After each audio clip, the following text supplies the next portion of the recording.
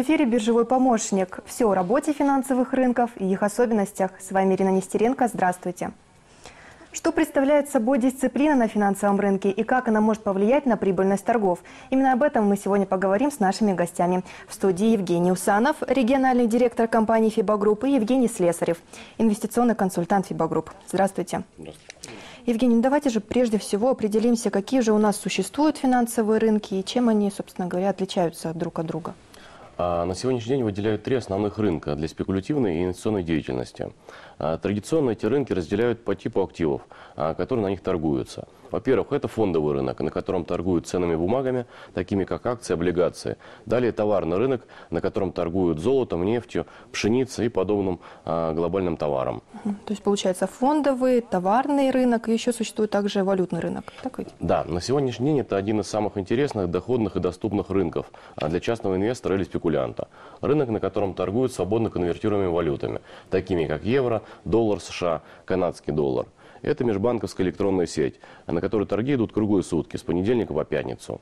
На этом рынке самые большие объемы торгов и самые большие возможности а, с минимальными ограничениями по сделкам. Ну вот сегодня тема нашей передачи – это именно дисциплина, да? То есть на каждом из этих рынков необходимо соблюдать эту дисциплину. Ну, безусловно, да.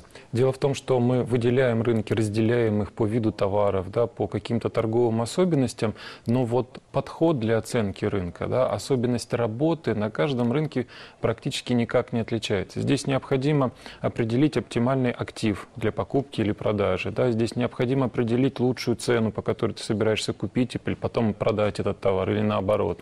И что самое важное, здесь необходимо э, научиться э, ждать, выдерживать какие какие-то временные промежутки, да, и здесь я не, опять же не оговариваю, будь то акция, будь то валюта, будь то какой-то товар. Принцип один и тот же. Принцип один и тот же, э, абсолютно верно. Рынках. А соответственно мы сталкиваемся с такой проблемой, как дисциплина, потому что человек не дисциплинированный, да, э, не имеющий четкого плана, да, или уходящий от собственного плана, он неминуемо терпит какие-то неудачи здесь. Поэтому дисциплина – это, ну, мне кажется, один из самых главных факторов такой, который необходим при принятии решений на финансовых рынках, при работе на финансовых рынках. Что включает в себя это понятие дисциплина именно на финансовых рынках?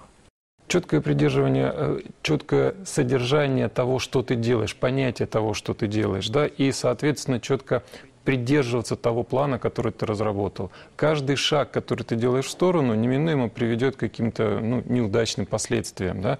И более того, мы должны понимать, что на рынке от нас практически ничего не зависит. Зависит только наша реакция на происходящие события. Соответственно, мы должны каким-то образом распланировать, что мы будем делать, в, какие, в какой ситуации, как мы будем поступать.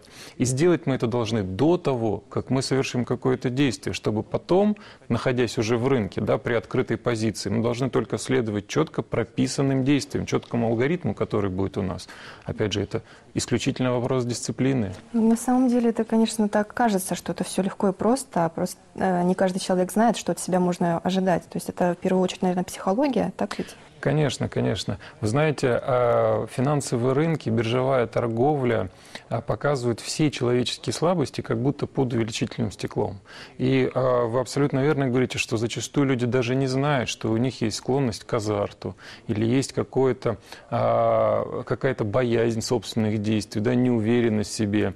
А вот финансовые рынки показывают это, да, и пройти через финансовый рынок, попробовать себя на финансовом рынке, это значит узнать о себе гораздо больше, чем где-либо в другой сфере. Поэтому именно это еще тоже интересно, да, то есть а, раскрыть себе какие-то качества и поставить для себя новые цели, да, как расти в будущем, даже если вы потом не будете работать на финансовом рынке, да, но м, умение преодолевать страхи вам пригодится всегда в жизни, да, умение четко придерживаться собственных планов, это, в общем-то, тоже в нашей жизни обязательно обязательные условия, да, вот, поэтому финансовые рынки это тоже такая достаточно интересная вещь, да, которая прорабатывает вашу психологию, которая э, дает вам возможность расти над собой.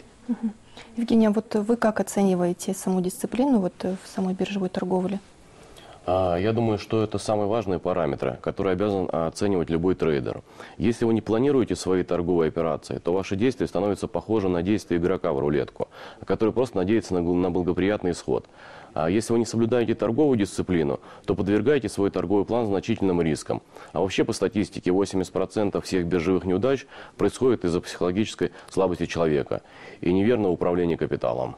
Ну, вот то, что и говорил, да, ваш коллега про эмоции. Да, то есть, да. получается, эмоции, они влияют напрямую, да, на биржевую торговлю? Совершенно верно. А страх и жадность – это основные эмоции враги при биржевой торговле. Они могут вносить существенное отклонение в процесс сопровождения сделки, приводя к серьезным нарушениям плана.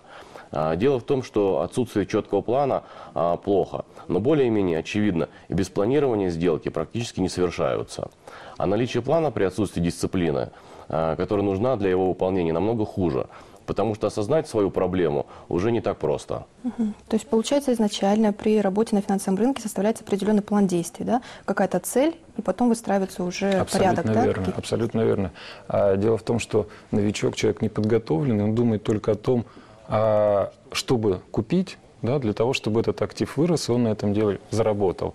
Но а, профессионал всегда знает, что план должен содержать как минимум 4 позиции, обязательных позиций. Да. Это а, выбор актива, да, это то, о чем знает и новичок. Далее идет выбор оптимальной точки покупки этого актива. Потому что, допустим, можем сказать, золото будет расти. Но вопрос, когда оно начнет расти и откуда оно начнет расти. Да, вопрос конкретной цены. А далее следует еще вопрос выхода из рынка. Дело в том, что оценивая любой актив, мы должны предполагать, что события могут развиваться так, как мы надеемся, и может начаться неблагоприятный исход. Мы купили, а цена на актив дальше дешевеет. Да? И тогда мы тоже должны предпринимать какие-то действия, чтобы э, оградить себя от не- нежелательных последствий, от потерь в конечном итоге.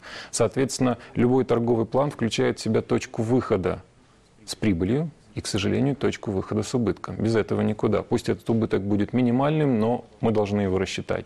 Ну, и еще один параметр – это так называемое время сделки. Так или иначе, мы всегда планируем, что оборот капитала составит там, сутки, неделю, месяц. Вот за это время мы должны нашу с вами сделку завершить, а если мы этого не сделали, то мы должны пересмотреть ситуацию. Может быть, имеет смысл действительно оставить эту сделку еще подождать, а может быть, нужно закрывать ее, потому что она себя пережила, изжила. Ситуация кардинально поменялась, и надеяться, что все будет происходить так, как вот мы планировали в самом начале, ну просто глупо. Поэтому это четыре основных параметра, которые включают в план. Но существует еще масса других параметров, ведь рынок постоянно меняется, постоянно изменяется, и мы должны прописать для себя, как я себя буду вести в той или иной ситуации. Да? И вот тут нужно постараться избежать вот тех эмоций врагов, о котором сказал Евгений. Да? Ну, посредством первую- чего это избежать? Какие-то правила существуют в биржевой торговле? Ну, во-первых, нужно в принципе понять, да, откуда берутся эти эмоции. Вот начали мы с того, что э, страх, да, А страх как таковой, он берется от незнания. Любой человек боится того, чего он не знает. Да? Это идет с детства, когда ребенок боится темной комнаты хотя бы потому, что он ее не знает. А дальше мы его можем немножко конкретизировать. Мы можем сказать, что мы боимся потерять деньги. Да? Это первый тип страха. И второй тип страха, когда мы боимся недополучить прибыль.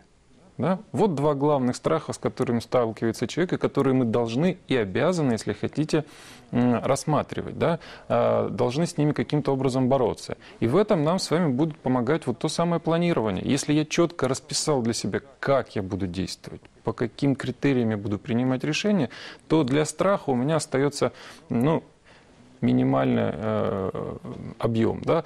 Дело в том, что я готовлю себя к возможным неблагоприятным событиям еще до того, как я вступил в рынок. Я уже к этому готов, и мне, по сути дела, уже не страшно. Я знаю, чем это закончится в худшем случае. И тогда я спокойно принимаю решение, да, я действую, я жду, когда это отработается. Мгм. Ну вот Евгений у нас инвестор в ПАМ-счета, да, как вы не раз уже говорили. Вот насколько для вас важно планирование при вот э, вашем подходе к рынку, при использовании такого инструмента, как ПАМ-счет? А инвестирование – процесс не менее сложный и трудоемкий, чем самостоятельная торговля. При инвестировании необходимо определять периоды вложений, правильно распределять сумму в портфеле, вовремя выводить прибыль. А это все и есть планирование. Все свои действия заранее записываю на бумаге, составляю планы, потом жестко его придерживаюсь. Вопросы правильного вложения средств а, подробно разбираются у нас на бесплатных водных семинарах, куда я приглашаю всех желающих. Записаться на семинары можно по телефонам, которые видите на своих экранах. Ну и что такое памп-счет? Вкратце можете объяснить? А, Памп-счет – это возможность для инвестора доверить собственные средства опытному управляющему или даже нескольким управляющим а, с подтвержденной историей торгов. При этом инвестор может выбирать управляющего не по одному параметру, а сразу по нескольким. А, В первую очередь это доходность, далее срок инвестирования, минимальная сумма инвестирования, опыт управляющего.